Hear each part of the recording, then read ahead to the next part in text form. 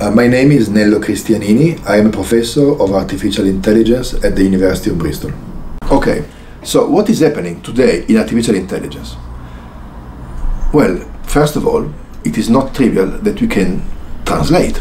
You can give to your computer a text in English and produce a fairly viable text in Spanish and uh, viable enough for it to be deployed and to be used by millions of people. And that is new and that is remarkable. It has been a, a a goal of research for such a long time to translate text, natural text, in a viable, usable way. Speech. We can transcribe speech. You can speak to a computer and the machine will roughly understand what you asked. Question answering. You can type or speak a question and expect a relevant answer. So these are all pieces of artificial intelligence that have come together in the last 10 years. Um, computer vision. You can recognize a person based on their face, in an image or in a video.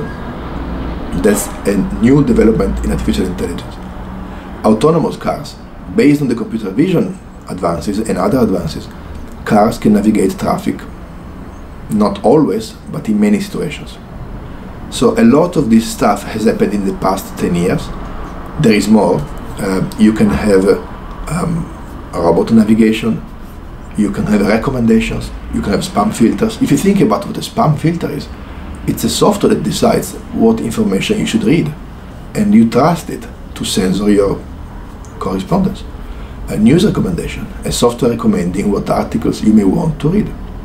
Online shops, suggesting what books you may want to buy. We, we spelling correction.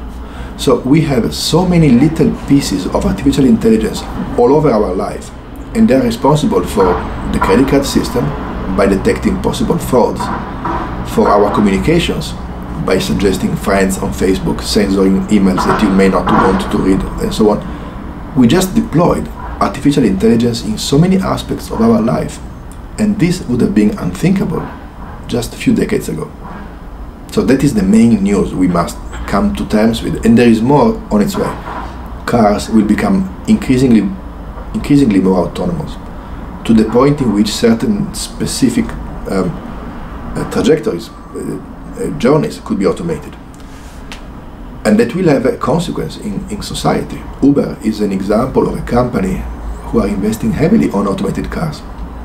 Obviously, the vision is uh, some journeys will not be done by human drivers. Um, Apple with Siri, you can ask questions to the computer, expect an answer will that impact the way we run call centers? I can't see how not. And then um, everything else, you know, we, we, we can we, we can imagine information gathering, information summarization, question answering systems. So we are in the middle of this revolution. And um, some have called this moment a renaissance of artificial intelligence because it has been a long time coming, a field that hasn't delivered for a long time, suddenly now is delivering a lot of things uh, at once. And society is absorbing them. There is a business model for it, and that is making all the, all the difference, I think.